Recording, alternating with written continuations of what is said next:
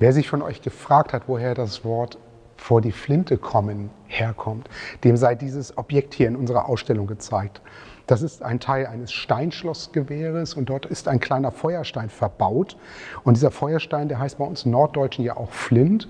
Und dieser Flint löst einen Funken aus und dieser Funken, der löst dann ähm, ein kleines Feuer in der Pulverpfanne aus, was dann zu einem Abschuss führt.